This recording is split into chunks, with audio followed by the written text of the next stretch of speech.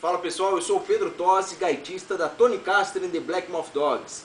Quero convidar vocês a participarem do segundo Antonina Blues Festival, que acontece esse ano, dia 21 a 24 de abril. Nós vamos estar tocando em Antonina, no festival, no bar do Hotel Camboa, às 22h30. Vamos estar tocando lá com todo o quinteto completo, formação oficial, levando o melhor do Chicago Blues para você, muita energia, muita alegria. Conto com vocês lá, hein? Um abraço!